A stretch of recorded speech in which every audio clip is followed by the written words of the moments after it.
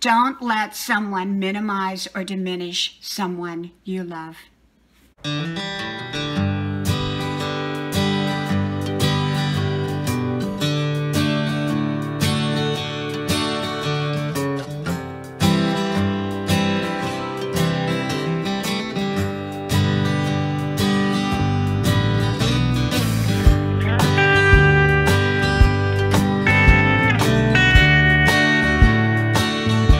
Don't let someone diminish someone that you love.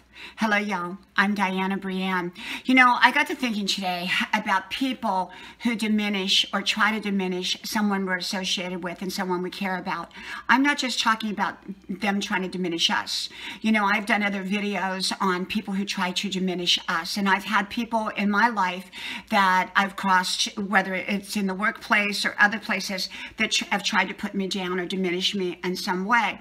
But this video is primarily talking about people who try to diminish someone we're associated with, and especially someone we love or care about.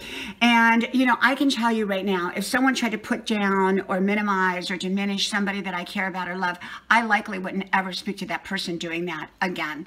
That's just me. I'm very faithful to the people that I love. Now, I'm not talking about someone relaying information that maybe I need to know about. That's something totally different.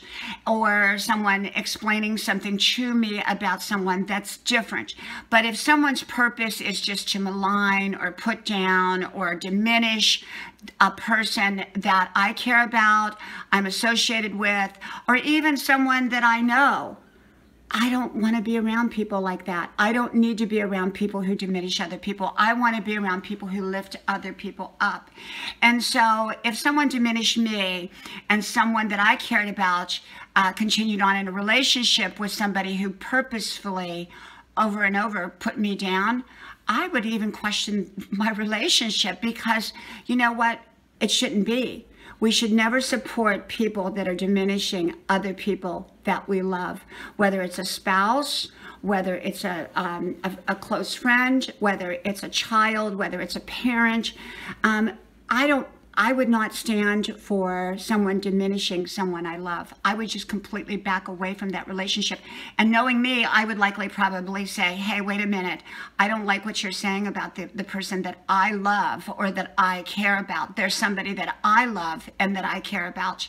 And so I'd probably say that first. That's me. I'm not suggesting that or anything like that. I don't give advice or suggestions. I just tell you how I live my life. And that's how I would probably do it. I'd probably say, hey, wait a minute that's not going to work with me. There's the door, not the front door. You get the laundry room door and don't let the door hit you in the butt. on the way out. That would be my way of handling it. And um, because no, I would not want anyone minimizing, diminishing, putting down someone I love because I wouldn't want someone I love to put up with someone minimizing or diminishing me. So for me, I believe in standing by the people that I love. From my house to yours, may God bless you, and I hope to talk to you soon again. Bye-bye.